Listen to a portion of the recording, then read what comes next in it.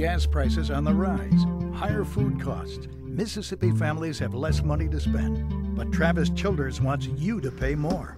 Childers supports raising our taxes as much as $2,600. And while Travis Childers would raise our taxes, he was delinquent in paying taxes on his properties 15 times this past year alone. Tell Travis Childers to reject the tax increase his liberal friends in Congress support.